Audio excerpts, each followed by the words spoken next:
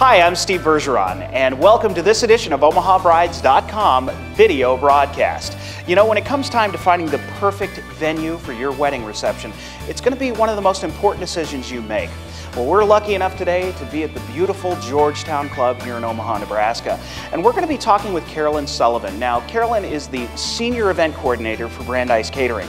Brandeis Catering caters all over the city of Omaha, and they have exclusive catering rights at the Thompson Alumni Center at UNO, the beautiful Tip Top Ballroom downtown, and of course the Livestock Exchange Building. We're going to talk to Carolyn, pick her brain a little bit about some tips and advice to help you when it comes to finding the perfect venue to have your wedding reception.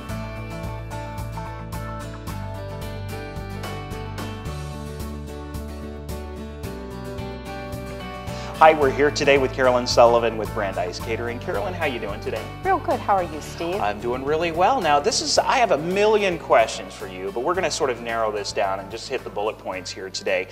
I'm putting myself in the shoes of a bride and groom. Um, I've just gotten engaged, and now it's time to start planning for the reception. Mm -hmm. what, tell us about one of the first things you need to do. Well, the first thing is to call your ceremony site. Mm -hmm develop your number of guests that you're planning to have come to your wedding so that when you make calls for your facilities, you're calling facilities that will be best suited for you. Yeah. Being it'll be a Friday or Saturday night, most facilities do have requirements mm -hmm. on those evenings. Um, quite often minimum guest guarantee or yeah. dollar amount spent. Right, and I, I, think you know the point really being here is that it's it's crucial that once you are engaged, one of the first things you need to do is to figure out where you're going to have your reception at. Once you've figured out that ceremony site, reception venue has to come next. Most definitely, and once those two items are selected, yeah. then the stress level, as I tell oh. brides, just goes down and they can start enjoying the planning because yeah. it is a fun year for the brides. And before a bride and groom can go out there and start looking for a venue, what should they come in knowing? I mean, if somebody were to walk into to the Georgetown Club here, what would a bride and groom, what would be one of the first questions you'd ask them? Well, number one, um, flexibility if the date wouldn't be available. Yeah. Um, are they flexible on the date? Number two, the number of guests. Number three, what budget are they looking at? So yeah. that as we look at the menus, um, Two is Friday night an option because we do offer discounts here at our facilities. And facilities throughout the city, most of them do offer Friday night discounts. Right. And, you know, I think based on my experiences that I've had in this industry, um, getting a a venue can be one of the most challenging things. And I think everybody knows out there that you got to get that venue because they, they do book up so quickly in the wedding season, in the peak of the wedding season. They do. And really, wedding season anymore starts um, late March and goes yeah. very strong through October. October has become the other June. Yeah. Now, briefly tell us, Carolyn, there's a there's two types of uh, reception facilities that you can get. There's the all-inclusive, which is what you guys are. Correct. I mean, bride and groom come in, they can get everything for them. And then there's the other reception facilities where the bride and groom have the option of bringing in their own food, bringing in their own beverage, and sometimes that can save them money.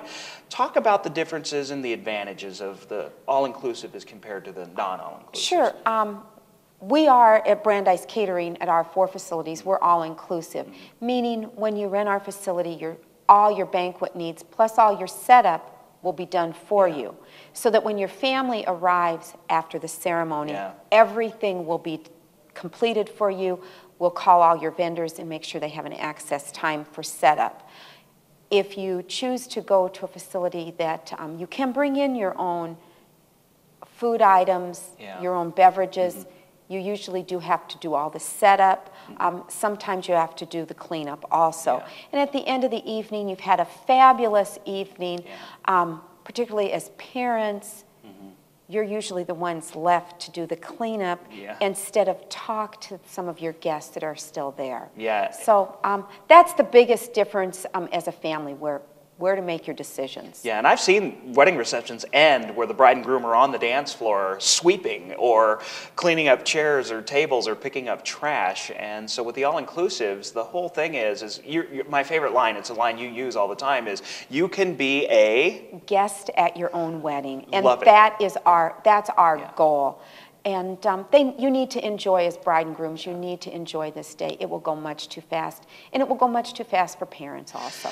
Now, to wrap all this up, uh, let's talk just very briefly about the importance of room layout because you can have a cake here, the dance floor could be here, the bar's here. Briefly here on the room layout, what do you recommend?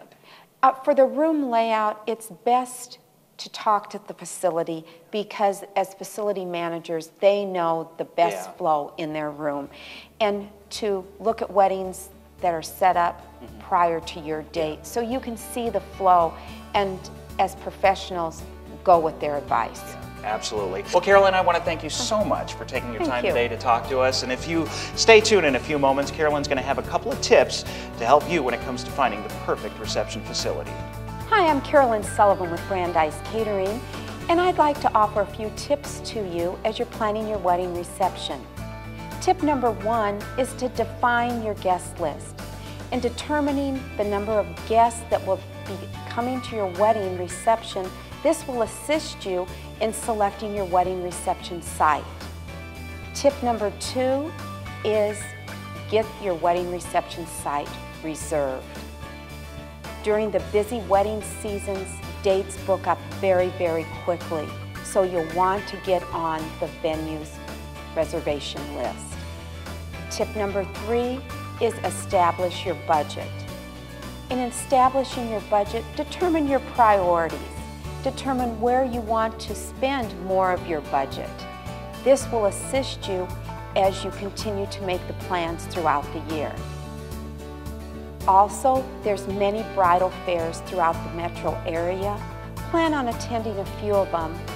Talk to the vendors, get input, see different ideas, and this will assist you in your planning.